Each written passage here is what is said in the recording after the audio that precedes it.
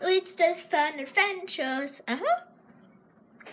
Today, we're back for YouTube versus YouTube. Well, YouTube channel versus YouTube channel. Today, we're having two GameXplain channels. One Nintendo Wire, one GameXplain. Okay, so you don't really have arguments for these. Hmm. Hmm. One sec. I'll go bring a friend to make some arguments.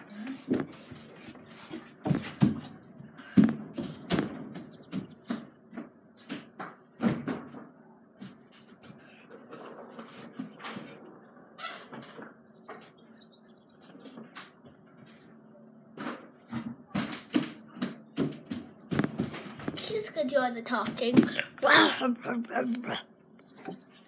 Hi guys. So, I'm from Nintendo Ohio. Um, um, by the way, I'm on King Nintendo. Da, da, da. So, the first argument. Okay, this is not working out. First argument for Nintendo Wire.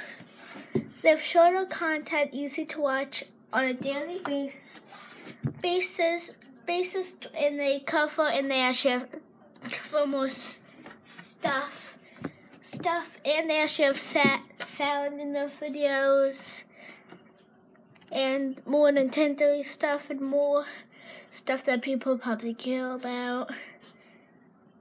And I think it's more subscribers, I'm not sure.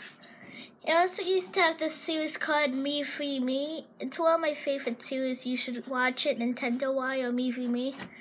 And uh, custom Smash or something. Well, not um custom conquest. Yeah. Okay. So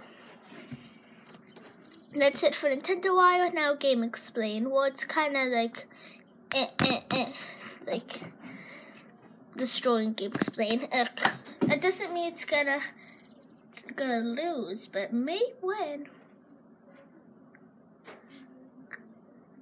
Okay, so GameXplain has no sound. It has it has no, if it doesn't have you on it, and it doesn't have any real things, and in the volume when they do sound the volume's really bad, and that's basically it.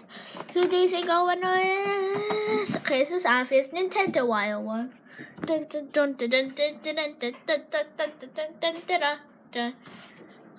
Okay, gosh, good. Bye.